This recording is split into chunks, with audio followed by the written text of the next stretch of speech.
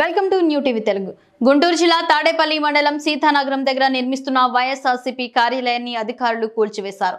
ఈ స్థలం జలవనరుల శాఖకు చెందినదిగా చెబుతున్నారు. అక్కడ అక్రమంగా వైఎస్ఆర్సీపీ కార్యాలయాన్ని నిర్మిస్తున్నట్లు అధికారులు చెబుతున్నారు. ఇవాళ ఉదయం ఐదు బుల్డోజర్లతో వైఎస్ఆర్సీపీ నిర్మిస్తున్న భవనాన్ని అధికారులు కూల్చివేశారు. గుంటూరు జిల్లా తాడేపల్లి సమీపంలో నిర్మిస్తున్న వైఎస్ఆర్సీపీ కార్యాలయ భవనాన్ని అధికారులు కూల్చివేశారు. తాడేపల్లి మండలం సీతానగరంలో వైఎస్ఆర్సీపీ కేంద్ర కార్యాలయం కోసం భవనాన్ని నిర్మిస్తున్నారు. అయితే నీటి పారుదల శాఖ స్థలంలో పార్టీ కార్యాలయం నిర్మాణం చేపట్టారనే కారణంతో కూల్చేశారు. వైఎస్ఆర్సీపీ కార్యాలయం కోసం బోట్ యార్డుగా ఉపయోగిస్తున్న స్థలాన్ని తక్కువ లీజుతో అప్పటి జగన్ సర్కార్ కేటాయించింది.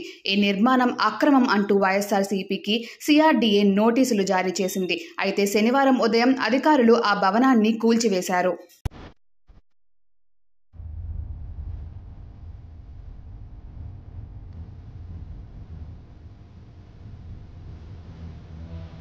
పార్టీ కేంద్ర కార్యాలయం కూల్చివేతపై వైఎస్ జగన్ స్పందించారు. రాజకీయ కక్ష సాధింపులకు చంద్రబాబు ప్రభుత్వం దిగిందని ఆయన ట్వీట్ చేశారు. హైకోర్టు ఆదేశాలను కూడా బేఖతరు చేస్తూ ప్రభుత్వం కావాలనే ఈ కక్ష సాధింపు చర్యలకు దిగుతుందని తెలిపారు. భవనం కూల్చివేతపై వైఎస్ఆర్సీపీ అధినేత వైఎస్ జగన్ కూడా ఎక్స్ వేదికగా స్పందించారు. ఆంధ్రప్రదేశ్లో రాజకీయ కక్ష సాధింపు చర్యలకు దిగిన చంద్రబాబు తన దమన కాండను మరో స్థాయికి తీసుకెళ్ళారు. ఒక నియంతర తాడేపల్లిలో దాదాపు పూర్తి కావచ్చిన వైఎస్ఆర్సీపీ కేంద్ర కార్యాలయాన్ని బుల్డోజర్లతో కూల్చివేయించారు. హైకోర్టు ఆదేశాలను బేఖాతరు చేశారు. రాష్ట్రంలో చట్టం న్యాయం పూర్తిగా కనుమరుగైపోయాయి. ఎన్నికల తర్వాత చోటు చేసుకుంటున్న హింసాత్మక ఘటనలతో రక్తాన్ని పారిస్తున్న చంద్రబాబు ఈ ఘటన ద్వారా ఈ ఐదేళ్ళ పాటు పాలన ఏ విధంగా ఉండబోతుందనే హింసాత్మక సందేశాన్ని ఇవ్వకనే ఇచ్చారు. ఈ బెదిరింపులకు ఈ కక్ష సాధింపు చర్యలకు వైఎస్ఆర్సీపీ తలొగ్గేది లేదు. వెనుచూపేది అంతకన్నా లేదు. ప్రజల తరఫున ప్రజల కోసం ప్రజల తోడుగా గట్టి పోరాటాలు చేస్తాం. దేశంలోని ప్రజాస్వామ్యవాదులంతా చంద్రబాబు దుశ్చర్యల్ని ఖండించాలని కోరుతున్నాను అంటూ ట్వీట్ చేశారు.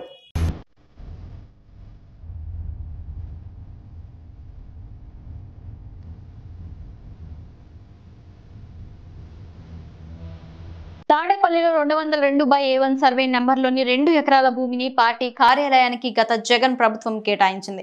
అయితే ఈ స్థలం స్వాధీనానికి ఇరిగేషన్ శాఖ అంగీకరించలేదని చెబుతున్నారు.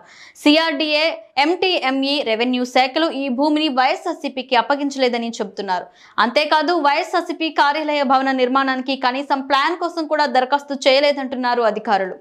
వైఎస్ఆర్సీపీ ఎలాంటి అనుమతులు లేకుండా పార్టీ కార్యాలయ నిర్మాణం చేపట్టిందని గుంటూరు జిల్లా టీడీపీ ప్రధాన కార్యదర్శి పోదనేని శ్రీనివాసరావు ఫిర్యాదు చేశారు. ఈ వైఎస్ఆర్సీపీ అక్రమ నిర్మాణాలపై చర్యలు తీసుకోవాలని సిఆర్డీఏ ఎంటీఎంసీ కమిషనర్లను కోరారు. ఈ ఫిర్యాదుపై స్పందించిన అధికారులు ఎంటీఎంసీ ఆధ్వర్యంలో అక్రమ నిర్మాణాల కూల్చివేశారు. మరోవైపు వైఎస్ఆర్సీపీ కార్యాలయం కూల్చివేత అంశంపై హైకోర్టులో కూడా విచారణ జరిగింది. తమ పార్టీ కార్యాలయాన్ని కూల్చివేసే చేసేందుకు సిఆర్డీఏ ప్రయత్నిస్తుందంటూ వైఎస్ఆర్సీపీ హైకోర్టులో శుక్రవారం అత్యవసరంగా పిటిషన్ దాఖలు చేసింది. ఈ పిటిషన్పై కోర్టు విచారణ చేపట్టగా తుది ఉత్తర్వులు అందకుండా కూల్చివేతకు చర్యలు చేపడుతున్నారని వైఎస్ఆర్సీపీ తరపున సీనియర్ లాయర్ పొన్నవరులు సుధాకర్ రెడ్డి వాదనలు వినిపించారు. ఈ భవనం విషయంలో చట్ట నిబంధనలకు పాటించాలని సిఆర్డీఏను హైకోర్టు ఆదేశించింది.